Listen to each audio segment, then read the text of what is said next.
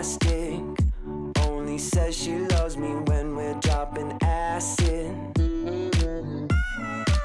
Her love is tragic, it's right in front of me.